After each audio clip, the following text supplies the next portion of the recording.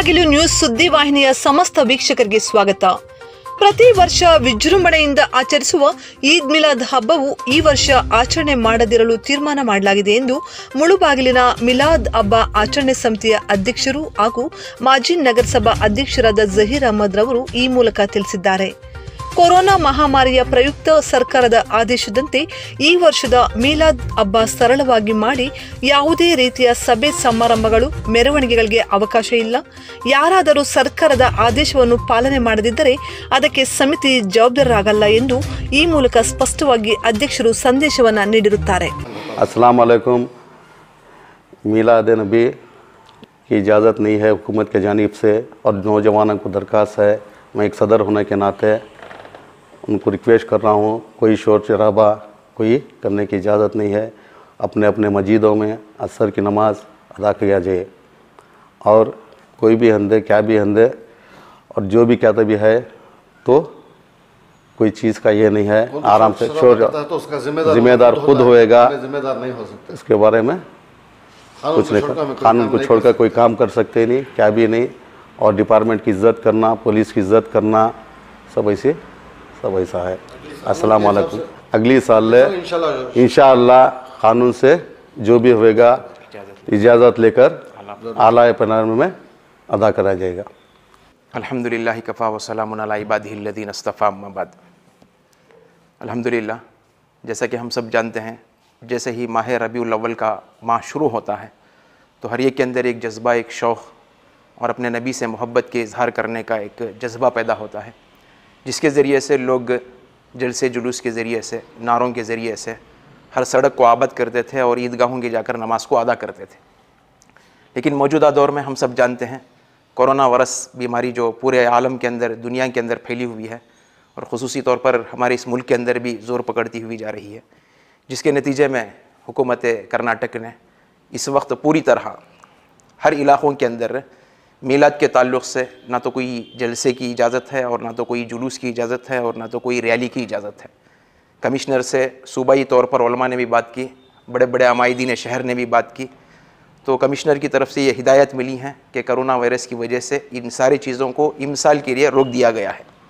लिहाजा दुनिया के अंदर, चाहे आदमी किसी भी मज़हब के अंदर जीने वाला हो, अपने मज़हब के बाद सबसे पहला अगर एहतराम की और इज़्ज़त की कोई चीज़ होती है तो वो अपने मुल्क का क़ानून होता है।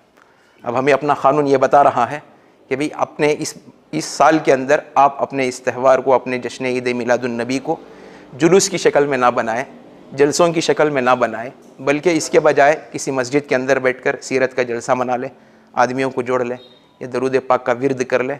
इसकी इजाज़त दे रही है आउटडोर आकर कोई नाराबाजी करते हुए, कोई जलसा जुलूस निकालते हुए।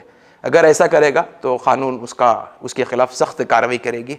और अल्हम्दुलिल्लाह यहाँ पर खड़े हुए हमारे मुलबागल टाउन के कमेटी के, मिलाद कमेटी के प्रेसिडेंट जनाब ज़मीर ज़हीर अहमद साहब, जो सबक काउंसलर भी रहे, और साथ साथ में हमारे नयाज साहब, ये भी सबक काउंसलर रहे, ये मिलाद कमेटी के ज़िम्मेदारान की तरफ़ से तमाम मुलबागल के शहर के नौजवानों को और साथियों को, लोगों को इस बात से आगाह करा रहे हैं कि हम लोग क़ानून का बिल्कुल साथ दें। क़ानून को हाथ में लेने की फ़िक्र ना करें कि अपने आप को, अपने जज्बात को काबू में रखते हुए इस साल ईद मिलादुलनबी को बजाय शोर और शराबा के अपनी मस्जिदों के अंदर असर की नमाज़ अदा करते हुए दरुत पाक का विरद कर कर वो अपनी मिलाद मनाने की फ़िक्र करें। अगर कोई आदमी ये बोलने के बावजूद भी अगर खिलाफ वर्जी करेगा, कोई ऐसी हरकत करेगा जो क़ानून के ख़िलाफ़ हो तो क़ानून अगर उसके ऊपर कार्रवाई करेगी तो मीलाद कमेटी उसकी ज़िम्मेदार नहीं है।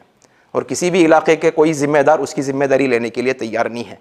तो लिहाजा तमाम नौजवानों से और शहरियान मुलबागल से दरख्वास्त है कि हम लोग इन बातों पर अमल करते हुए, ईद मिलादुलनबी के तकाजे को पहचानते हुए, अपनी ज़िंदगियों में दीन और शरीयत और सुन्नत को अपनाते हुए इन इमसाल पुरअमन के साथ में अपने माहौल के अंदर रहकर ईद मिलादुलनबी मना लेंगे। तो जैसे कि सदर साहब ने कहा, आइंदा साल हुकूमत से इजाज़त लेकर जितना हो सके उतना आला पैमाने पर इन ईद मिलादुलनबी मनाया जाएगा। इस तरह से एक लेटर मिलाद कमेटी की जानब से तमाम मुलबागल शहर वालों के लिए एक पैगाम पहुँचा रहे हैं। तो ये सदर साहब की इजाज़त के साथ में ये पढ़ा जा रहा है। लिहाजा मिलाद कमेटी मुलबागल की जानब से एक ज़रूरी पैगाम। अल्लाम रहमतुल्लाहि व बरकातुहू मुलबागल शहर के तमाम आशिकान रसूल को इस बात की इत्तला दी जाती है कि इमसाल मौजूदा कोरोना वायरस वबाई बीमारी की वजह से जश्न ईद मिलादुलनबी मनाने की हुकूमत की जानब से इजाज़त नहीं है। और हमको क़ानून की इज़्ज़त करना भी ज़रूरी है। लिहाजा इमसाल मीलाद के दिन कोई जुलूस, जलसा, नारेबाजी ना करें। इस दिन अपनी मस्जिदों में नमाज़ असर अदा करें, दौर पाक का विरद करें।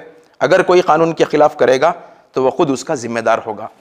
और आइंदा साल इन आला पैमाने पर जलसा और जुलूस मनाया जाएगा। मिन जानब मिलाद कमेटी मुलबागल टाउन। इनकी जानब से ऐलान भी पूरे मुलबागल शहर के लोगों को पहुँचाया जा रहा है। लिहाजा अपने वालदेन, अपने बच्चों की ज़िम्मेदारी लेकर उनको सही रास्ते पर चलने की उनकी तलकीन करें और इमसाल इन अपनी मस्जिदों में नमाज अदा कर कर हुजूर पर जितना हो सके उतना दरूद पढ़े आइंदा साल आला पैमाने पर हुकूमत का साथ लेकर इन हम लोग आला पैमाने पर जश्न ईद मिलादुलनबी इन मनाएंगे बस मैं इन बात पर अपनी बात को ख़त्म करता हूँ असलकुम ವೀಕ್ಷಕರೇ ನೀವು ನೋಡ್ತಾ ಇರೋದು ಮುಳಬಾಗ್ಲು ನ್ಯೂಸ್ ಯೂಟ್ಯೂಬ್ ಚಾನಲ್ ಇಂಥ ಸುದ್ದಿಗಳು ನಿಮಗೆ ಬೇಕು ಅಂದ್ರೆ ಈಗಲೇ ಸಬ್ಸ್ಕ್ರೈಬ್ ಮಾಡ್ಕೊಳ್ಳಿ ಜೊತೆಗೆ ಯಾವ ನ್ಯೂಸ್ಗಳನ್ನು ಕೂಡ ಮಿಸ್ ಮಾಡ್ಕೋಬೇಡಿ ಅಂತ ಹೇಳ್ತಾ ಇದ್ದೀನಿ ಇದು ಮುಳಬಾಗ್ಲು ನ್ಯೂಸ್ ಯೂಟ್ಯೂಬ್ ಚಾನಲ್